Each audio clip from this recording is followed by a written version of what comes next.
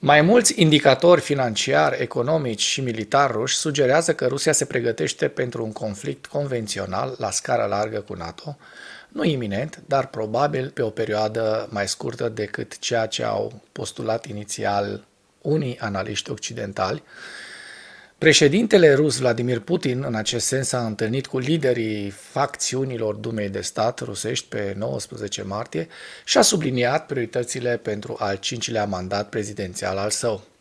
Putin a subliniat importanța dezvoltării economiei rusești și a extinderii programelor sociale anunțate în discursul său din 29 februarie către Consiliul Federației Putin, susținând pe 19 martie că a fost martor personal la modul în care interesele corporative au alimentat numirile în organismele legislative, în timp ce lucra la Leningrad și mai târziu la Sankt Petersburg.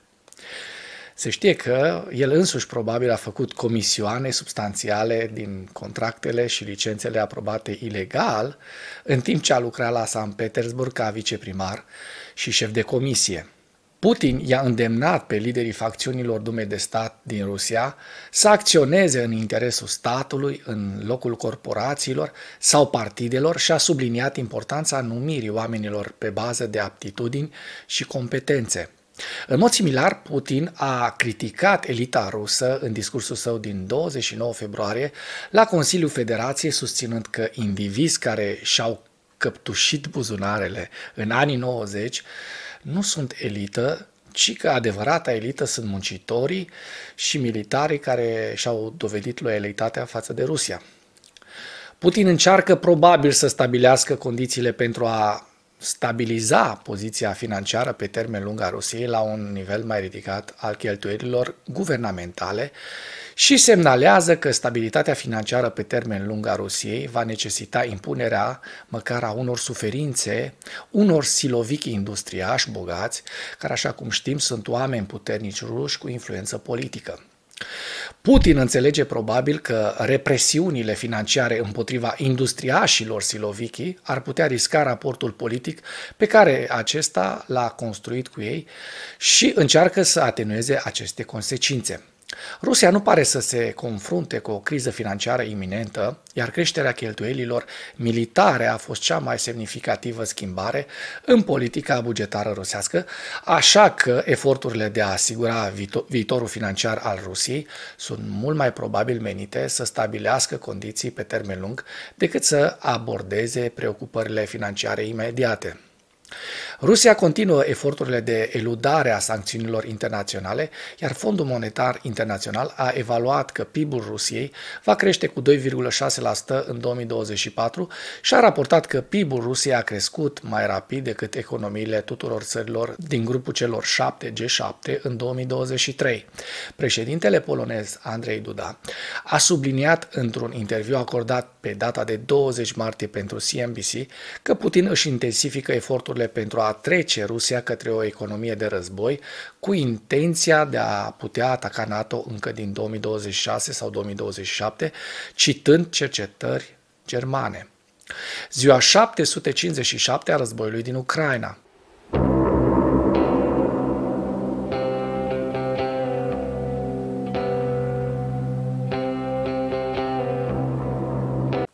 Potrivit statului major al forțelor armate ale Ucrainei în dimineața zilei de 21 martie 2024, pierderile totale în lupta ale Rusiei de la începutul invaziei pe scară largă asupra Ucrainei din 24 februarie 2022 se ridică la aproximativ 433.840 de militari.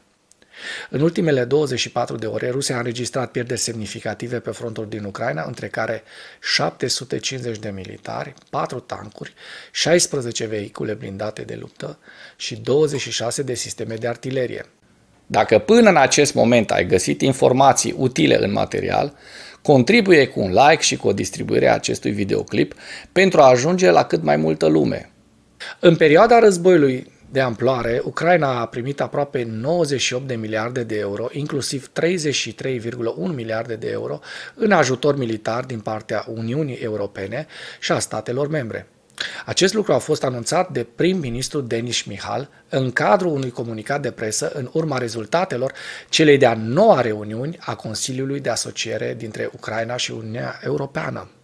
Consiliul de Asociere a salutat sprijinul total oferit de UE și de statele sale membre în valoare de aproape 98 de miliarde de euro de la începutul războiului de agresiune al Rusiei împotriva Ucrainei. Vorbim despre inclusiv 33,1 miliarde de euro în ajutor militar. Ea a salutat de asemenea pregătirea forțelor armate ale Ucrainei, care este condusă de misiunea de asistență militară a Uniunii Europene, se arată în mesaj. Uniunea și-a confirmat de asemenea hotărârea de a răspunde nevoilor militare și de apărare urgente ale Ucrainei, inclusiv furnizarea de muniție și rachete, în special având în vedere obligația de a furniza Ucrainei un milion de proiectile de artilerie. Ucraina a salutat implementarea cu succes a misiunii de asistență militară a Uniunii Europene în sprijinul Ucrainei, denumită UMAM, inclusiv noul obiectiv de a pregăti încă 20.000 de soldați ucraineni, a adăugat Denis Mihal.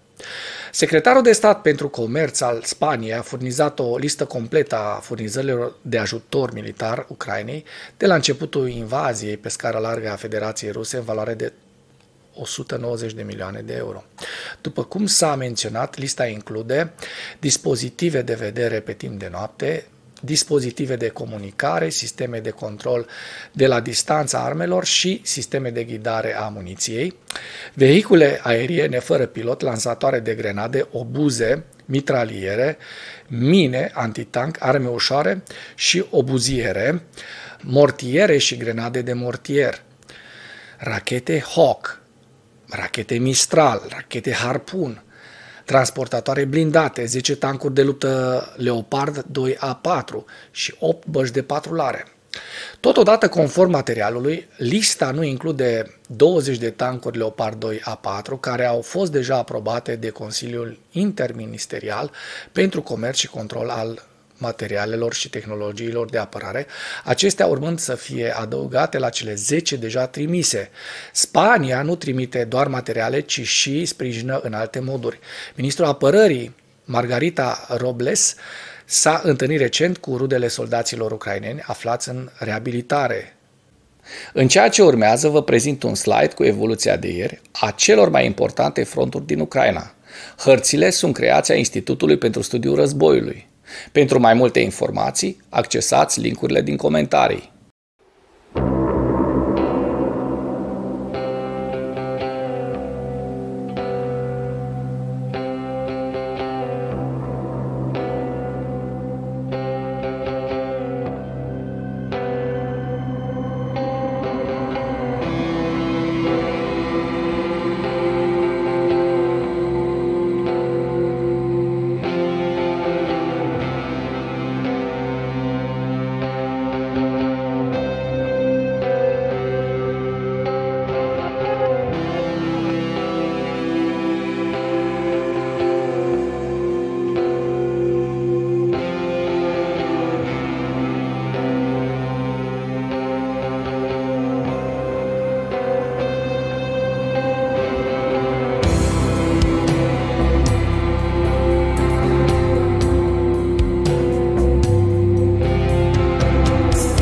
Mulțumesc pentru vizionare. Dacă vrei să susții acest canal, abonează-te la Animatura. Apreciez mult asta.